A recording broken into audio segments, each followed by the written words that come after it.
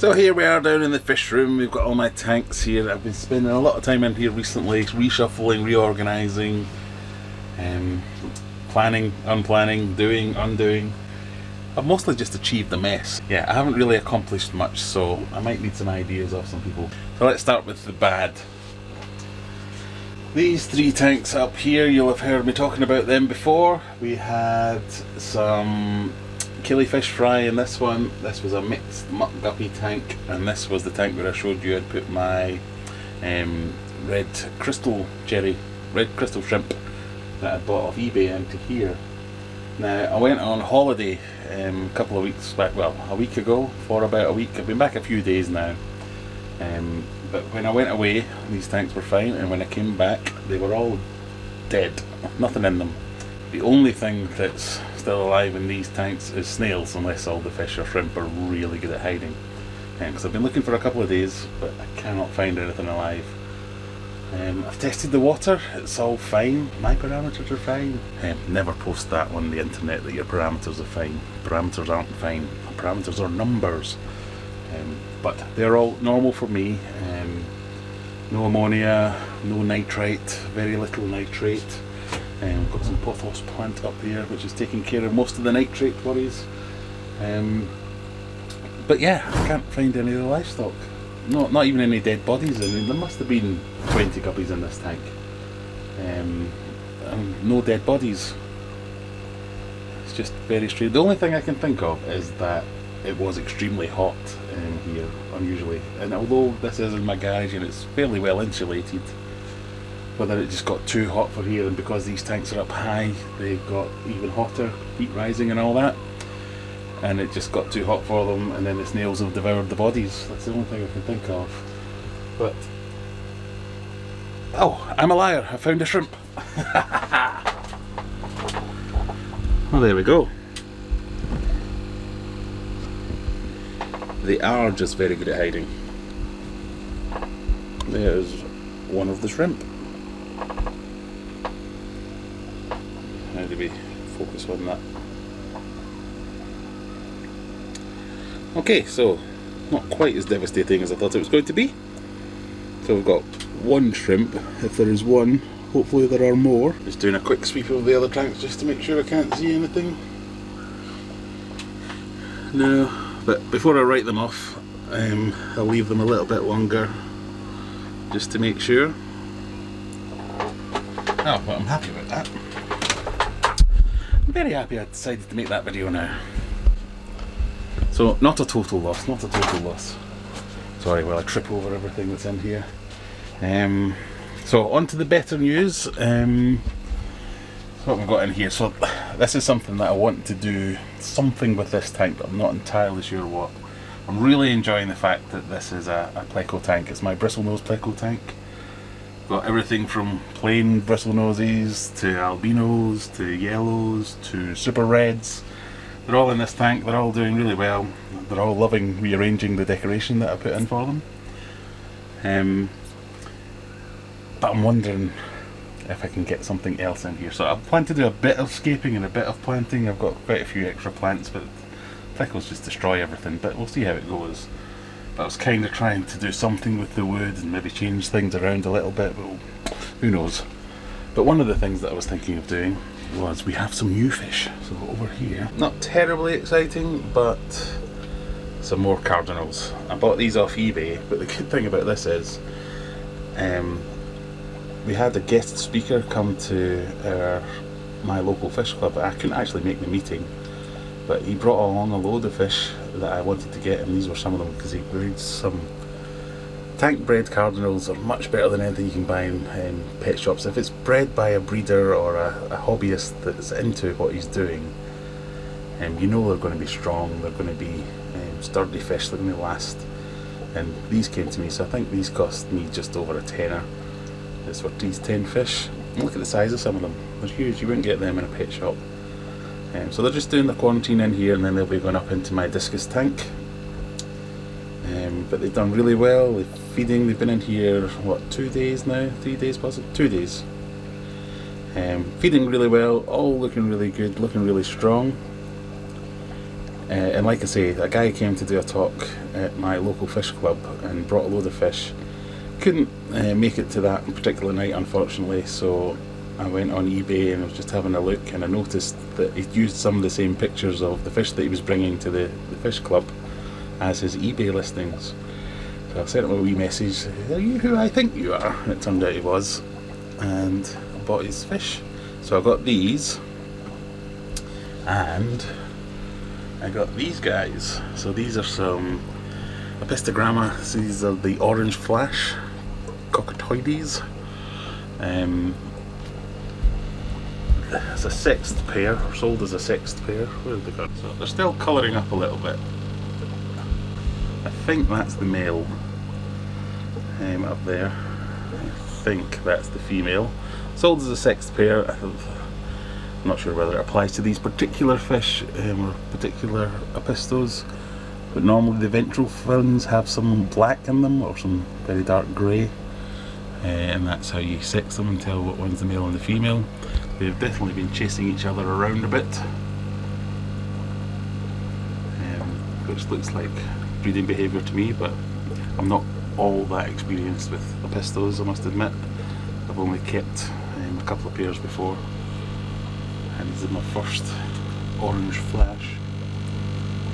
Um, so again, they've just been in here the same amount of time, they came in the same package. I just put in a little pot for them to hide in um, while they do their quarantine. But again, eating well, looking healthy, uh, swimming about, quite happy. Um, one of the things I'm thinking of doing is whether or not to make this a permanent home for these guys and try and breed them out. Um, because if we swing back round to the bristlenose tank, this I want to be a, a bristlenose breeding tank, but I don't want it to just be plain, empty, sterile. I know I would get better results from my breeding if I did that, but I also I, I like to to watch them interact and move around and I'm wondering whether or not I can get the apistogrammas in here as well because this is what this is a five foot tank. Yes there are a lot of bristlenoses in there. I have kept bristlenoses with my apistos before in the past and bred successfully. I don't know whether it would work with all these bristlenoses in here because there must be a good 20 or so bristlenose in here. Um, but hopefully there should be enough space. If I put in a bit more woods, a bit more cover, a bit more planting I'm wondering if there'll be enough space for a few caves for the apistos to be happy or not but I just don't know. Um, I'll probably try it but if any of you guys have any experience of this and want to say don't be an idiot Graham um, by all means let me know in the comments um, this stuff here this is courgette that I put in ooh, two or three hours ago. I've already made a massive dent in that. Never come out when I'm trying to film here. There's one of the super reds over there. So I wonder if that would be a good idea or not.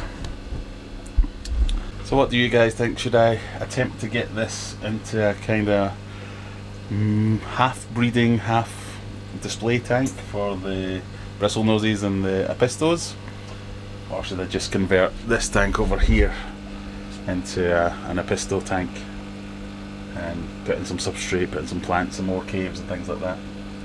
It would mean that I'd lose one of my quarantine tanks, um, but I can live with that, I've got plenty more. Still over here got the saltwater tank. I'm not doing anything about it but I've really had enough of the saltwater. I just want these to go want this tank back. I have other plans to do. Um, some things in here. I did go through the process of moving all the guppies down here into another tank and then I've moved them back again because I changed my mind. Still got this as my shrimp tank. Still millions of shrimp in here but these plants are not doing well at all.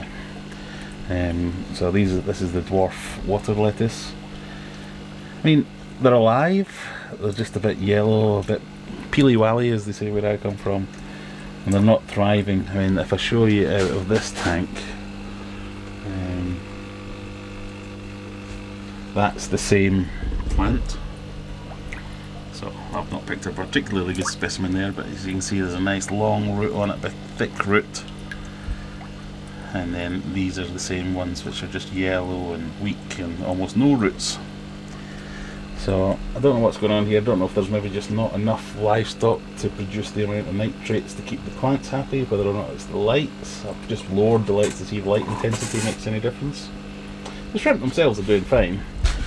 Horribly dirty tank, um, but hopefully you can see there are tons and tons and tons and tons and tons and tons of shrimp in there. And some of them look great, some of them are so bright.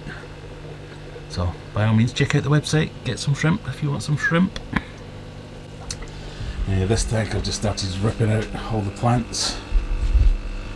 And this is my rainbow tank. I mean this is another one. I don't know whether or not that would work, whether the apistos would like to live in here with the rainbows. This is only a three foot tank. Or four foot? Something like that anyway. I think I'll just like to keep that as the rainbows. Um, but I'm going to move this around again and do some different sort of planting.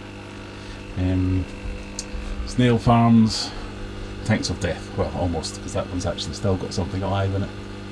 But I want to get this sorted. It's just a bit of a mess. I need to get on top of things. I'm getting an electrician to come in and put all this on a new ring main so as I don't trip out the entire house the next time I spill some water somewhere. So, new day. Um, I've made a couple of additions, or changes rather. Um, I thought the apistos were chasing each other a bit too much, so I've put in a few more decorations, a couple of plants and things just to give them a bit more, um, bit more space. That sounds weird, but it's a bit more space from each other, breaking up lines of sight, all that normal stuff, some more hidey holes. So they've got more places to get away from each other if they want to, um, and it seems to be working. They don't seem stressed. Um, so another couple of days have passed since the last bit you saw. I think these are good to go. They're still eating really well. The colours are coming up nice and bright, so I'm pretty happy with that. And then over here we've had a start of the, the rescape. So what I've basically done is just added some gravel just to give a different area because I had some. So we've got a gravelly side and a sandy side. Taking bets on how long that takes till that all mixes together. But just bit in a few plants that I had lots of spares of, lots of bits of wood, some more homes and hidey holes for the plecos, uh, another hide over here, and then I'm probably going to put the apistos in as well and put another couple of caves in just to spread it all around a bit, um, just so as there's everyone's got plenty of space, and I think they will have. As a kind of side-on shot, so there's plenty of area. I might get some more rocks and some more wood to hide behind, but I'm thinking that looks good.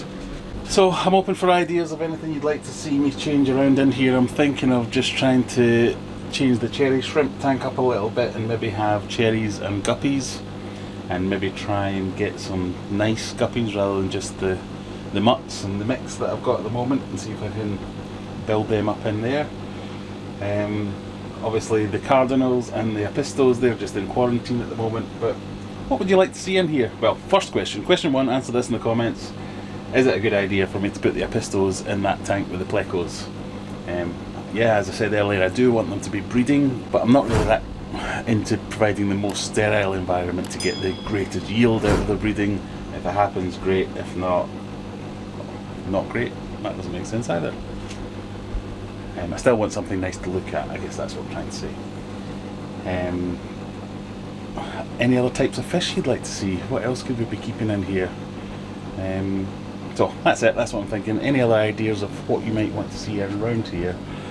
Um, and I hope you enjoyed this little update, and I'll see you next time. Bye!